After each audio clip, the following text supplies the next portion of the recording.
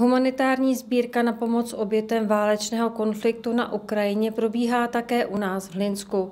Organizuje ji město Hlinsko ve spolupráci s dobrovolnými hasiči a na schromážděný materiál bude předán Českému červenému kříži.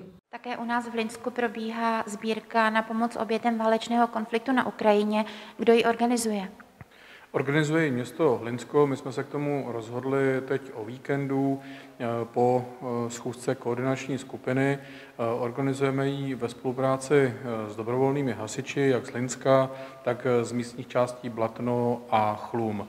Ten materiál, který tady naschromáždíme, tak jsme připraveni předat Českému červenému kříži a, a nebo případně do centrálního schromaždiště, které bude v rámci Pardubického kraje a odtud potom ten materiál poputuje přímo do oblastí na Ukrajinu, kde je potřeba. Ve které dny, v kterých hodinách a do jakých míst mohou lidé materiál nosit? My jsme se s dobrovolnými hasiči dohodli, že těmi místy, těmi, kam to budou moci nosit tady lidé u nás, tak budou hasičské zbrojnice, eh, jednak tady v Linsku, eh, tam je přístup eh, z hasičského dvora, takže tam může každý přijet na dvůr a už může předat ten materiál. A pak to jsou hasičské zbrojnice v Blatně, a také v Chlumu.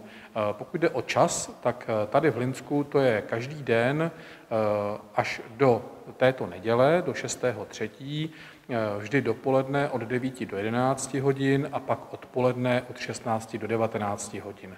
A v případě Blatna a Chlumů, tak tam mohou lidé nosit ty potřebné věci odpoledne v rozmezí od 16 do 19 hodin jaký materiál je nejvíc potřeba? E, především jsou to jednak hygienické potřeby, jsou to e, věci pro děti, ať už, ať už to je sušené mléko, sunár, e, nějaké přesní dávky, pleny a podobně. Takže ten, ten materiál je specifikovaný u nás na webových stránkách.